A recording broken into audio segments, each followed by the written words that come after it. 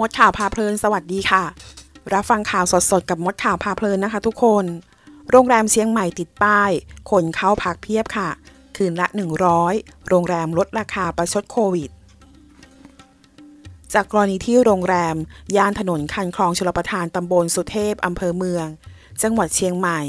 ซึ่งเป็นหนึ่งในโรงแรมที่ได้รับผลกระทบจากสถานการณ์ของโควิด -19 ตลอดช่วง 2 ปีที่ผ่านมา จนแทบไม่มีลูกค้าและก็ไม่มีรายรับนะคะ จึงได้จัดโปรโมชั่นลดราคาห้องพักเหลือคืนละ 100 ทุกห้อง ทั้งโรงแรม ระหว่าง 10 ถึง 12 ตุลาคม 64 เพื่อหวังกระตุ้นการตลาดแล้วก็ดึงดูดใจให้มีคนเข้าพักค่ะ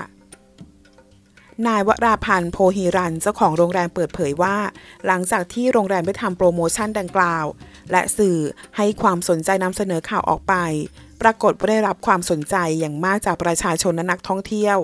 ที่ต่างสอบถามกันเข้ามาเป็นจำนวนมาก พร้อมทั้งทำการจองห้องพักประมาณ 70%ทั้ง 3 วันที่มีการจัดโปรโมชั่น ระหว่าง 10-12 ตุลาคมนี้ ส่วนใหญ่เป็นนักท่องเที่ยวจากต่างจังหวัดตนขอขอบคุณลูกค้าทุกคนที่ให้ความสนใจ และหวังว่าทางโรงแรมจะมีโอกาส ได้ให้บริการทั้งในโอกาสนี้แล้วก็โอกาสต่อไป ยืนยันว่าแม้จะลดราคาห้องพักเหลือเพียงคืนละ 100 บาท แต่มาตรฐานการให้บริการและก็สิ่งอำนวยความสะดวกทุกอย่างยังเหมือนเดิมกับราคาปกติ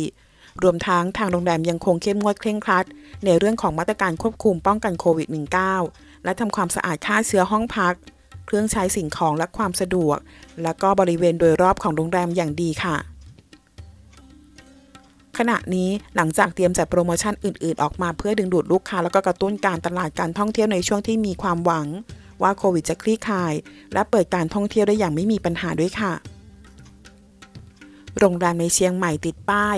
พักคืนละ 100 คนเข้าเพียบค่ะ ขอขอบคุณข้อมูลจากสยามท็อปปิกค่ะ